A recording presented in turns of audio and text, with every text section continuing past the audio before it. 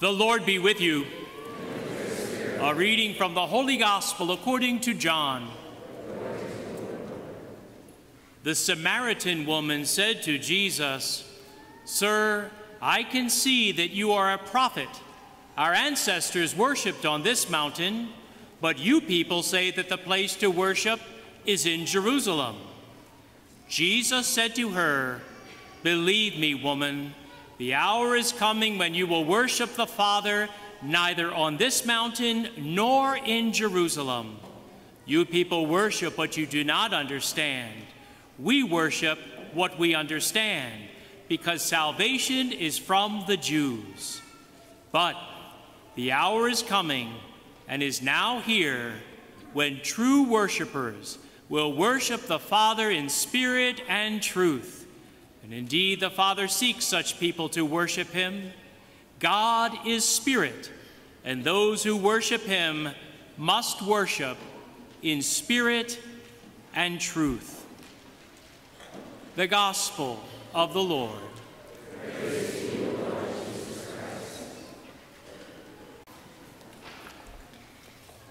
Again, it's a great joy to be with you here this, this morning. Uh, I can't promise one of those five minute, complete, punchy homilies that you're used to hearing from Father Baer every Sunday with a very clear point. He's the master of that, I know, I've heard them many times. Unfortunately, you're going to have to listen to me expound a little bit more about why this dedication of the altar is such a big deal. Why does it make such a difference in the life of the church? You know, you'll see in just a few moments, if you've never seen this ceremony, that we use all of our symbols in this ceremony. We sprinkle the water with the altar with holy water. We, in fact, uh, bless it with incense and we anoint it with chrism, sacred chrism. You know, that's the oil that the bishop consecrates once a year at the chrism mass, the most sacred of all the oils. And then we light candles around it. All of these symbolizing, symbolizing what? Just what we heard in our first reading. How awesome is this shrine! It is nothing else but the abode of God, that is the gateway to heaven. The reason we surround and consecrate this altar with so many symbols is because this altar is for us the gateway to heaven. This altar is for us the holiest place on earth. Why? Because here heaven and earth become one. Because here at this altar, our daily life meets the divine life of Jesus Christ. And here on this altar, we have what we say is the holiest of exchanges. We bring all of our lives, our, our sacrifices, our struggles, our prayers, and we place them on the altar. And they're united to Jesus' own prayer and transfigured, transformed. And the life of Jesus comes back to us through this altar. What an exchange! We give our poor human lives and we receive the very life of God, the body and blood of Jesus. It's what makes this altar so holy. Of course, what is an altar? An altar is a place of sacrificial worship. Sacrificial worship. I hope you realize that throughout the history of the world, anyone in the whole world who wanted to worship God before modern times, when we became so heady, whenever people wanted to worship God, they always knew it involved sacrifice. To worship was to offer something to God. And this is what the Jewish people did when they worshiped God. They offered goats and bulls and the blood of goats and bulls. And they offered it upon the altar because God had told them that through that offering their sins would be wiped away. But when Jesus came, he transformed that. As we heard today, when Jesus speaks to the Samaritan woman at the well. The Samaritans, you remember, were a sect of the Jews. And they were a sect because they had a different way of worship. They worshiped on the mountain where that well was, where Jesus met the Samaritan woman, but the Jews worshiped at the temple, on the Temple Mount, where they made their sacrifices. And Jesus, when this woman objects, she says, she says, But you Jews say we're to worship God on the mountain. Jesus says, The hour is coming and is now here when true worshipers will worship the Father in spirit and truth. And indeed, the Father seeks such people to worship Him. God is spirit, and those who worship Him must worship in spirit and truth. Brothers and sisters, what do we do at this altar? We worship God as He desires to be worshiped. We worship Him in spirit and in truth. We worship Him with the worship that Jesus offered Him. Remember what Jesus said just two chapters before, where this is John chapter 4, the Samaritan woman. In John chapter 2, remember what Jesus did? He went into the temple and he overthrew the tables of the money changers. And he said, Stop turning my father's house into a den of thieves. And they said, By what authority do you do this? Who are you that you would cleanse this temple? And he said, I tell you, destroy this temple, and in three days I will raise it up. And then St. John tells us he was speaking about the temple of his body. Brothers and sisters, where is true worship offered? Where is the only true worship that has ever been offered in the history of the world? Where was it offered? It was offered in the heart of Jesus Christ, the true temple, as he hung upon the altar of the cross when he gave his life on our behalf to the Father. That's the one sacrifice that can truly take away all the sins of the world because Jesus is both fully human like us and fully divine. This is, in fact, why when Jesus died on the cross, what happened in the temple? The curtain was torn in two of the old temple. Why? Because the old worship was destroyed. And the new worship, the worship in spirit and in truth, began when Jesus worshiped the Father on the altar of the cross.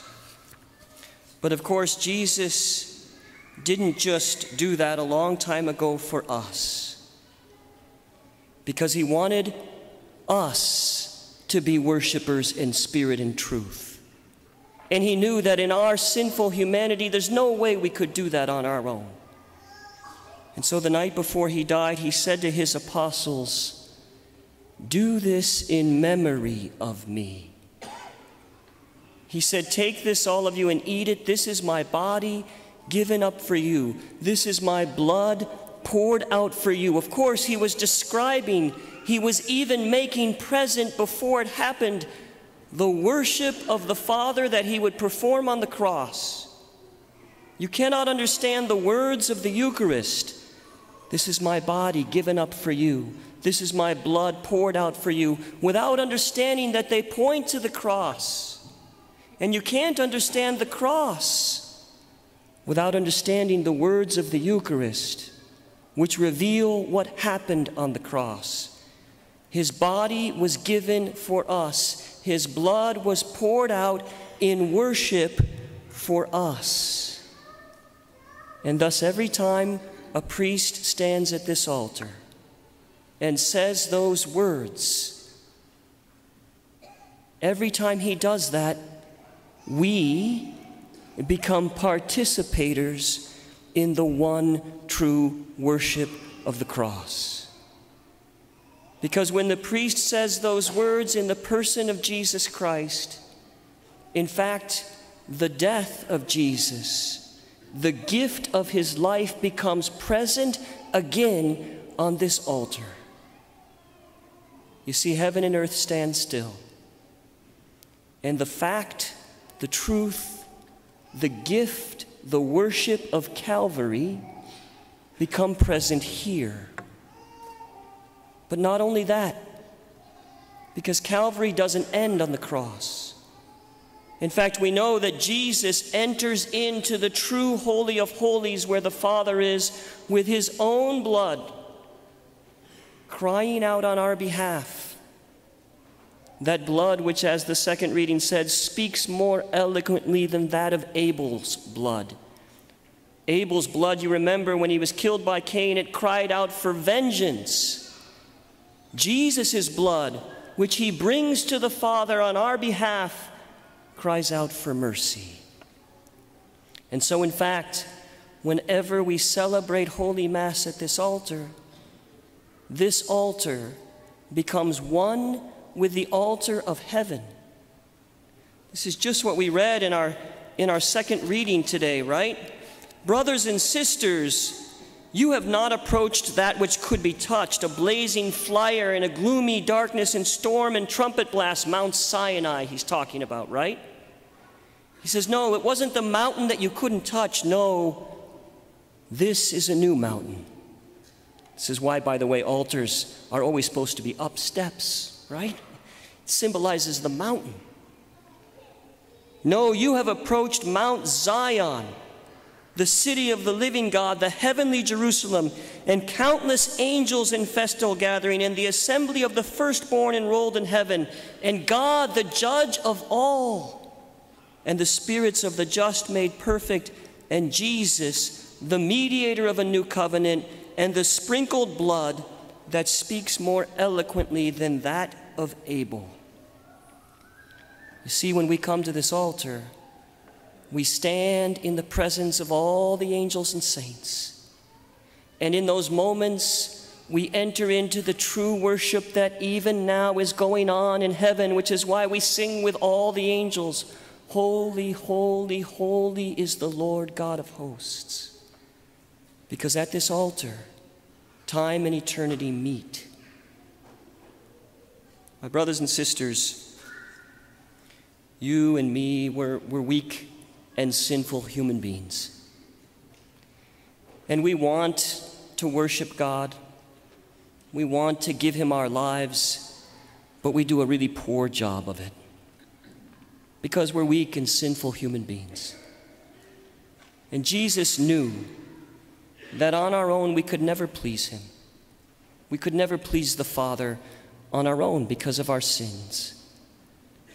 And so God had a plan to send his son Jesus to become one of us.